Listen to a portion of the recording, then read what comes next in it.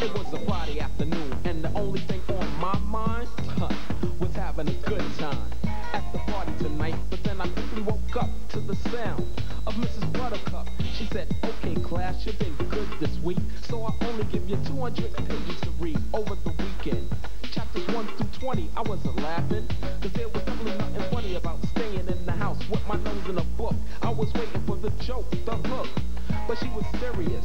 I was delirious see, I got the same from six classes previously. There goes my weekend, and all the fun I planned. How can I get out of this jam? Hmm, missing one assignment couldn't hurt. I wonder what would happen if I didn't do my homework. Buddy, yo. Man, we got homework. Yo, we gonna do our homework. Listen, I got all weekend. We gonna do our homework. It's Saturday. Thinking about homework? No way. I got my girl a call to make sure that she's all in to spend some time with me. But I'm blind to see my homework's due in about 48 hours. See, time is running short. I didn't give it a second thought. I mean, all work, no play makes Jake such a dull Another year of school, so why am I wasting time? I gotta do it.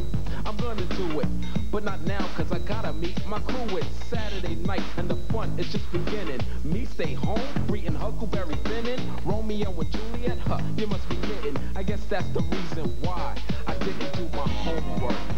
Yo, Mrs. Buttercup gonna get you, man. Her. Oh, oh. yo. all hung over from the night before. So dizzy that I couldn't find the floor. My head was spinning, my stomach was turning. The furthest thing from my mind was learning about the city of Cairo. Man, I shouldn't have drank that Bacardi after eating that gyro. But anyway, another day gone by. So yo, no time to delay. I gotta hit the books before Monday. And just to think, it's already Sunday. Time sure flies when you're having fun. How many pages have I read? None.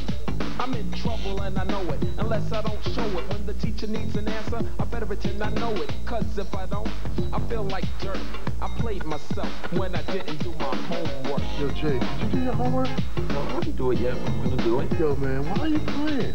Listen, I'll make it up. Man, you know Miss Buttercup's gonna say something. Still got Monday already?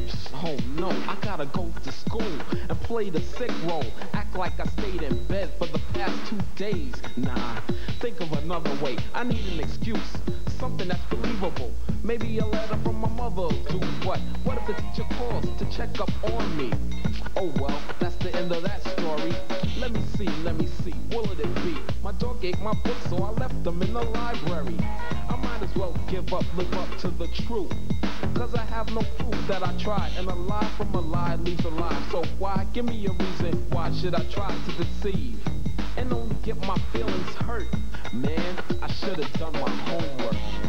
Mr. Levin, Oh, yes, Miss Buttercup? where's your homework?